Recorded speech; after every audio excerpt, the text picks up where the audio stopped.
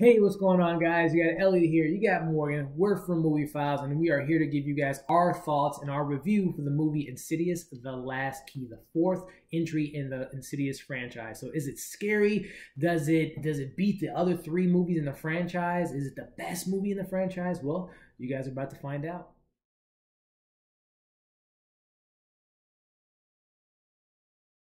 Alrighty, guys. So if you haven't already subscribed to our channel, for those that are already subscribed, thank you for tuning in. And for the newcomers, thank you guys for watching. But uh, Insidious, the, the last key, is the fourth entry in the franchise and um, it comes with uh, some some new things and some things that didn't work too well but we'll get into that. So for you guys that are new to our video reviews we like to keep it as spoiler free as possible. And if something slips up we'll definitely give you guys a heads up and we'll put a spoiler warning in there if we feel like it's spoiler territory. But we like to touch on the story uh, the performances it's a horror film. Is it scary? We'll talk about that. And then we'll talk about our overall thoughts on the franchise and then we'll wrap up with our score. So with that you know just kind of go into the story based off the trailers and the synopsis. This movie is heavily focused on Elise, her background, mm-hmm. her her backstory, her house being haunted. She gets a call from a um, from a gentleman saying the house has some more crazy activity. So Elise being Elise, she has to jump into action. So keeping it spoiler free uh, and touching on the and negatives. What did you think about just the general story?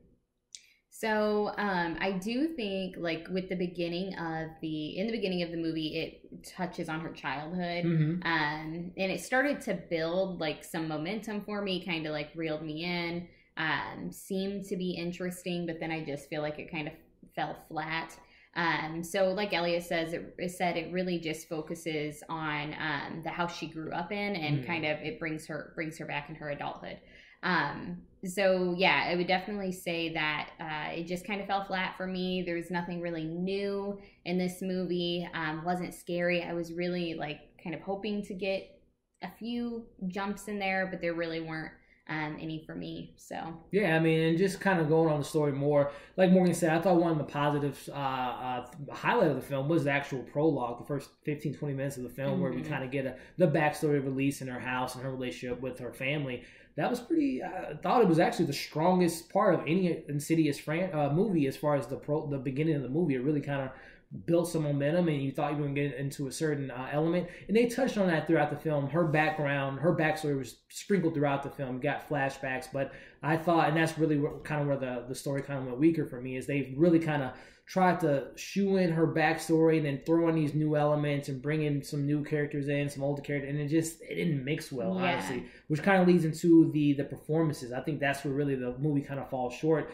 Now, keep in mind, this isn't these Oscar-winning performances. You know, you got Rose Byrne in the first uh, uh, first two movies, Patrick Wilson, some really good actors. I'm a fan of both of the actors. And you had some moments throughout the first two Insidious with them in particular that in particular with Patrick Wilson, the second one kind of being the evil version himself. But mm-hmm. I think this movie just had some some cringeworthy acting, honestly. Yeah. And, and at this point, this is the fourth movie of the franchise.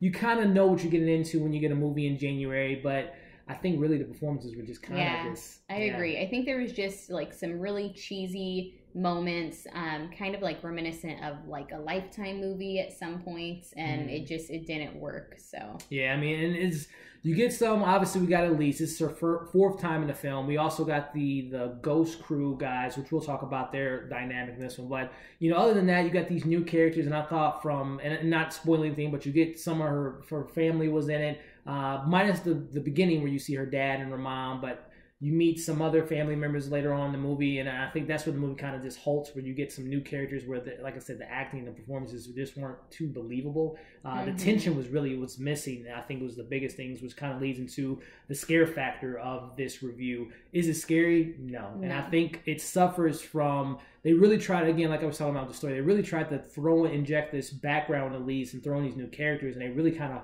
miss the element of, of surprise and, and, scare factor. I mean, like I said, there's a couple jump scares, but it's really yeah. nothing too effective. Yeah. There's no, and, no no tension. Yeah, and it just it falls flat on all um, parts. I know you're talking about the scare factor and all that, but even with her her story, it just wasn't strong enough. There yeah. wasn't anything that like was strong enough to hold itself together. So. Mm. Yeah, and I mean, and like I said, you get these little flashbacks and, and see her fa- family dynamic, and those were kind of you felt bad for the character Elise and her family.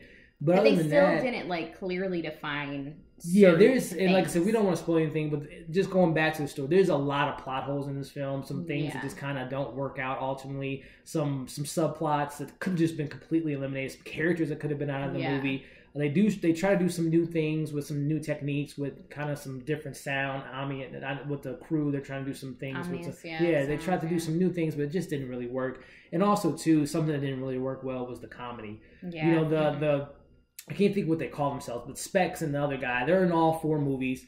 They're not funny to me, and this No. film really was not funny. I mean, the first Insidious, when you meet them, you see they had this weird dynamic. This one, they were trying too hard to be funny, Yeah. and it fell flat. Like there's maybe one yeah. joke that landed, but they had a lot of them that just fell, just hit the Yeah. ground, and uh, yeah, it was terrible. And it was You know what I almost mean? like they wanted you to feel that.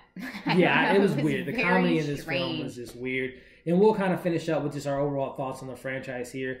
This is the fourth film. Uh, I'll say personally, we we rewatched Insidious one and two, and they haven't aged that well. But at least the first one has some creepiness, has some Mhm. really effective jump scares. Second one was okay. Third one I did not like at all. I'll say this one, the fourth one's better than the third, but that's not saying much because the third wasn't that great. Um, and I think the franchise, as, as you guys know with Blumhouse, these movies cost maybe five, ten million at the most. I think this movie was ten million. It's going to make its budget back this weekend. I think it's already at thirty million this weekend. It beat Star Wars uh, for the box office results for the second for the for its first week. So.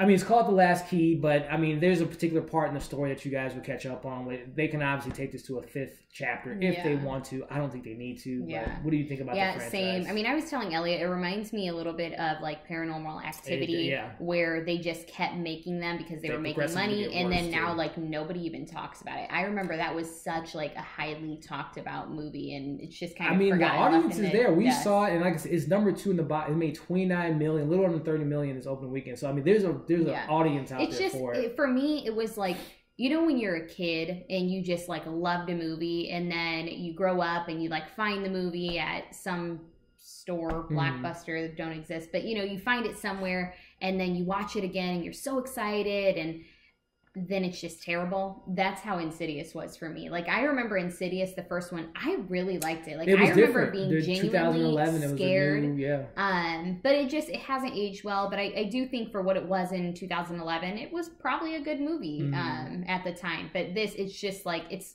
washed up. I think our standards are getting a little bit higher for these horror films. Like Morgan said, you get so washed down by these reboots, and you get these fifth, sixth, seven saws. You get four or five uh, uh, paranormals, and they're Yeah. they just kind of get in this uh, It's rhythm. like let's just do something new. Yeah, and that's Just- why you know you get a Get Out, you get a Split, you get a It. You can really appreciate those films. Obviously, they have a little bit more budget, but minus the budget, you can take away the budget from those films. They're still good films at the Yeah. heart of it. So ultimately, I think this film kind of fell flat for us both. Uh, again, and another thing too, I guess for those that are diehard fans, you might appreciate this one. yeah. I mean, we're fans to a degree. Like we said, we watch one and two. Don't like the third one, but I think honestly, if you guys are new to the franchise, it would help to maybe see the first three because there are some interconnected. There's Yeah. a connected. I will say. I do like how they tried to connect all four films. I will Yeah. give that.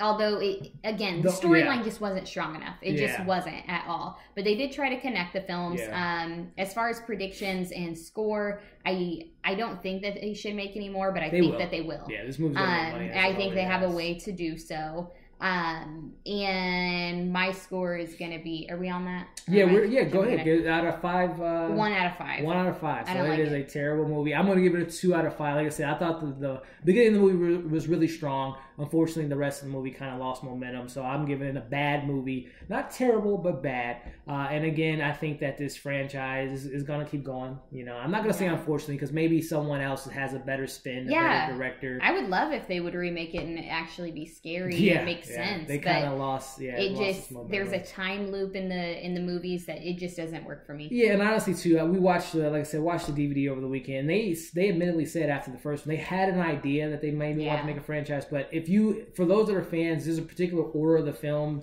You watch the films and a lot of stuff just doesn't make sense. No, but any, at the end of the day, we weren't a fan of it. I would love to know what you guys thought of the Yeah. film for those that saw it, uh, those that are fans of the franchise, what you guys think of the film. Uh, as always, uh, definitely check us out on our social media accounts. Something to look out for. We're going to have our top 10 uh, movies from Morgan and I. We're both going to have five movies that we're super excited for. So we have the uh, most anticipated films of 2018 and we're going to do a video for you guys here soon. We're going to have another uh, movie review coming out later this week for 12 Strong. Uh, and then just keep an eye out for all the stuff we got coming. So thank you guys for tuning in, and we'll see you guys again shortly.